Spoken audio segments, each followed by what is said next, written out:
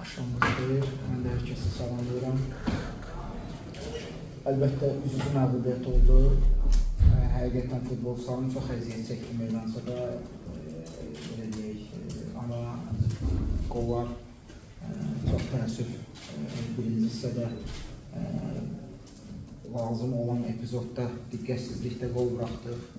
Və ikinci hissə bərabərləşdirdik oyunu və üstünlük də var idi. Amma təəssüf yenə standart vəziyyətdən ə, qol buraxdıq. Amma məncə qoldan qabaq da ə, rəqibin hücumçusu ə, bizim müdafiəçiyə dirsə yatmışdı. Təəssüf ki, ə, neçə oyun vardı, həm xırda faullar, həm qapımız ə, 11 metrəmizi vermə, ə, verilmədi Sumqayıtla. Və bu da ə, bizə baha başa gəlir. Ə, xallarımız deyək, e, qazana bilmirik. Amma bu gün futbolçularımızdan razı qaldıq oyun baxımından. Yəni 90 dəqiqə e, tem sonluq çatmadı. Yəni bu sonluq neçə oyunlardır bizə əziyyət verir. İnşallah yəni bu da düzələcək. Əsas odur ki, ruhdan düşməmək lazımdır. Birinci dövrə bitdi. E, birinci dövrədə 11 xal e, çox da ola bilərdi.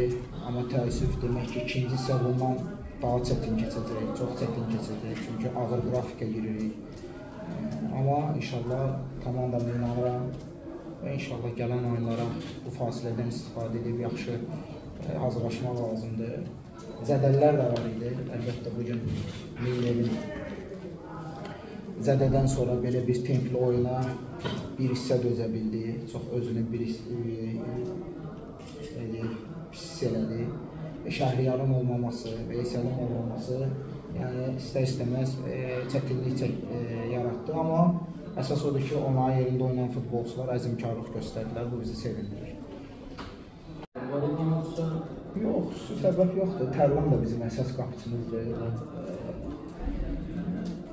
Ancaq e, Burada sual başqa bir Tərlan uzun fasilədən sonra meydana çıxıb rəzədə vermişdi. Necə müxtəlif təsir bağışladı? Ümumən normal, yəni belə deyək, e, qollara baxsaq, yəni həm birinci qol, həm ikinci qol arxa üçüncə vuruldu.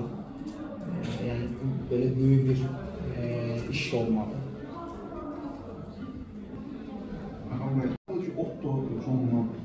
Çox yaxşı başlamışdı. Yəni Marazmın da yəqin ki, xatırlayırsınız. Hamı düşünürdü ki, yəni Beşiktaş çempionatın tanıqlarıdır. Sonra nə baş verdi futbolçularda? Əməlli eniş, yəni eniş yaşamışsan ki, futbolçularda. Düz qeyd edirsiniz, bu çempionat uzun marafondur. Yəni futbolçularda olacaq.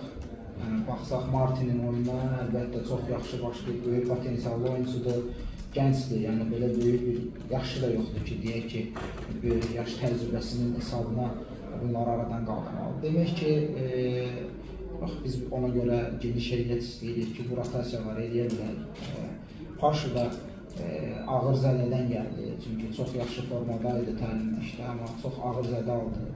Amma o da özü özü yavaş-yavaş özünə gəlir. Əlbəttə bu futbolçular formada olanda komandaya oyuna təsir edir. Formada olmayanda düşüş olanda e, nəticəyə təsir edir. Bunu da görürük. İnşallah inanırıq ki, onlar gələcək. Sizə.